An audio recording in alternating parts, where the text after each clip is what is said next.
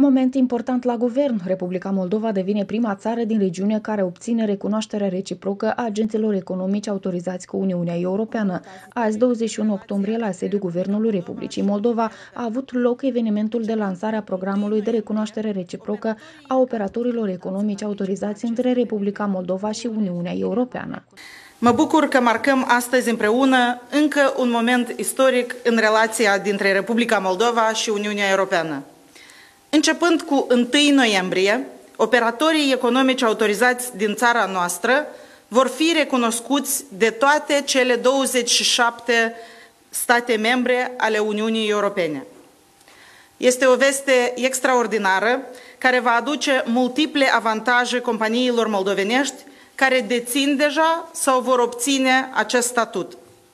Voi menționa doar câteva din aceste avantaje.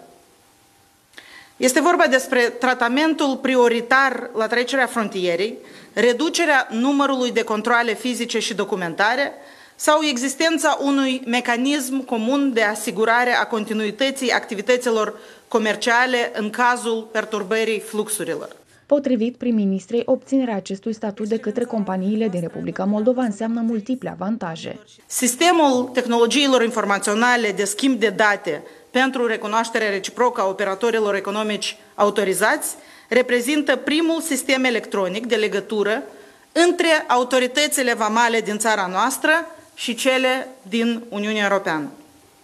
Cu alte cuvinte, Uniunea Europeană și statele sale membre au dat un vot de încredere Serviciului Vamal al Republicii Moldova, care în cadrul noului sistem va fi tratat ca un serviciu omolog din oricare țară din spațiul comunitar. Natalia Gavrilița a mai menționat că la ora actuală sunt 30 de agenți economici din Republica Moldova care au undă verde în Uniunea Europeană.